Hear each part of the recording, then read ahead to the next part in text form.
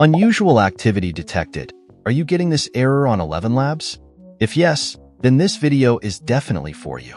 You must have seen a lot of YouTube videos talking about using VPN and switching the network, etc., but you know what, most of the times it won't work, and even if it does it is temporary, you will get the same error after second or third generations. But the method I have for you today is a permanent solution to this problem.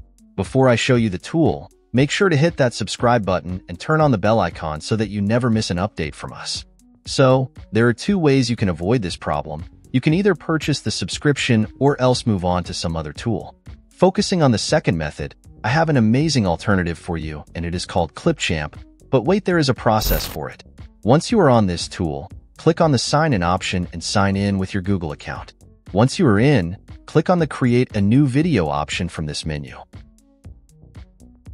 Once the canvas loads, click on the record and create option.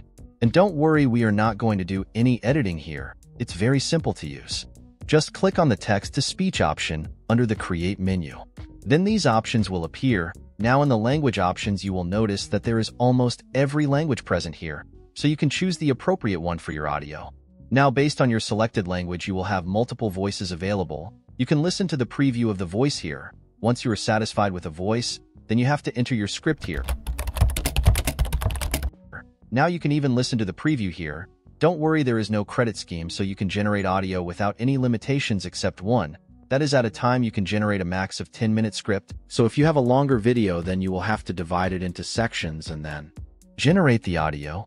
Once you are satisfied with the audio, you can click on the Save option here. Once the audio is saved, simply click on the Export option and choose the 480p option.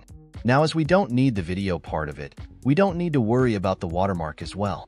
Now once your video is downloaded, just head on to this website and upload your video here and hit convert. Within a few seconds your audio file will be ready and you can download it. Thank you for watching, and I'll see you in the next one.